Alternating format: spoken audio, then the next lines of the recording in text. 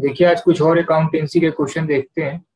पहला क्वेश्चन है कि journal is a book of ये क्या होगा आंसर ओरिजिनल एंट्री फिर लिखा है कि revenue is considered as being earn when देखिए, जितने भी टाइप के कॉन्सेप्ट हैं, ठीक है टेन कॉन्सेप्ट के राउंड है, उसको आप एक बार रिवाइज कर लीजिए। कहीं कहीं से डायरेक्टली एक क्वेश्चन आ जाएगा।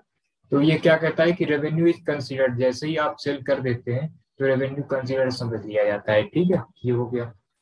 फिर कह रहा है कि the proprietor withdraw cash one thousand for his personal use तो क्या एंट्री होगी? ठीक है, कभी भी कोई पर्सनल यूज़ कर ले, पैसे निकाल ले तो क्या एंट्री होती है? Drawing account to cash account तो इसमें डेबिट क्या होगा? ड्रॉइंग अकाउंट फिर लिखा है कि example of personal account is तो पर्सनल अकाउंट का इसमें एग्ज़ाम्पल क्या है? तो प्रीपेड एक्सपेंस अकाउंट है। फिर ट्रायल बैलेंस क्या होता है? तो देखिए, कई बार एग्ज़ाम में आया है कि ट्रायल बैलेंस क्या है? बैलेंस शीट क्या है? तो ये सब क्या होते हैं? स्टेटमेंट होते हैं।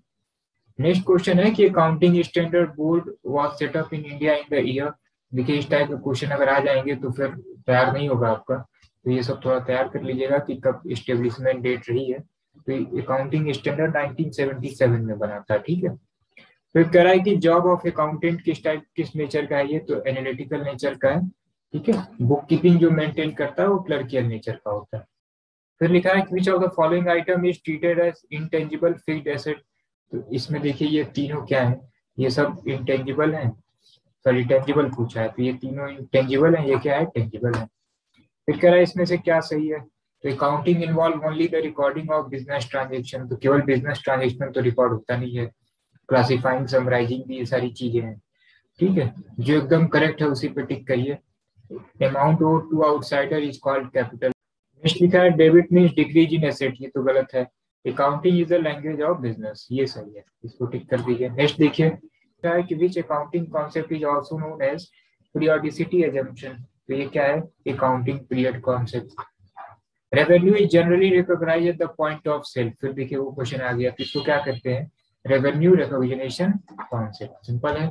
इस क्वेश्चन देखिए लिखा है कि the assumption that a business enterprises will not be sold or liquidated in the near future is known as, इसको क्या कहते हैं? Going concern concept Next, company must prepare financial statement at least yearly due to the assumption of periodicity concept.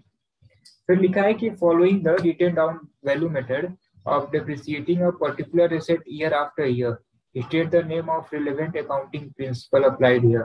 ये आप देखिए एक ही method आप कई सालों से यूज़ कर रहे हैं क्यों किस मेथड से किस कॉन्सेप्ट के अकॉर्डिंग कंसिस्टेंसी कॉन्सेप्ट ठीक है नेक्स्ट क्वेश्चन लिखा है who is entitled to receive dividend shareholder फिर कह रहा है कि लाइबिलिटी सिक्स थाउज़ेंड है फॉर्म में, और कैपिटल कितना है? फोर थाउज़ेंड एसेट एसेट कितना होगा तो आप एक फॉर्मूला जानते हैं।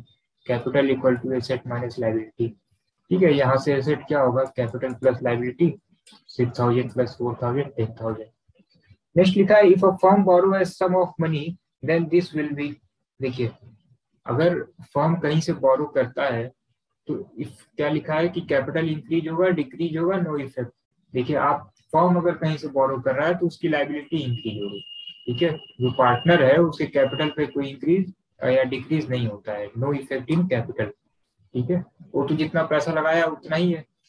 ठीक है? Next bank overdraft account क्या होता है? ये पर्सनल अकाउंट होता है। ड्रॉइंग अकाउंट क्या होता है? इस टाइप का क्वेश्चन पूछना ही है एक तो ये पर्सनल अकाउंट होता है। ठीक है? बैंक अकाउंटिंग इज़ ठीक है? नेक्स्ट क्वेश्चन है बैंक अकाउंट ही है तो ये क्या होगा? पर्सनल अकाउंट परचेज अकाउंट क्या होता है? तो ये नॉमिनल अकाउंट होता है। और गुडविल अकाउंट क्या है? तो आप ये जानते हैं एसेट है। जितने भी एसेट हो, क्या होते हैं? रियल अकाउंट सिंपल है।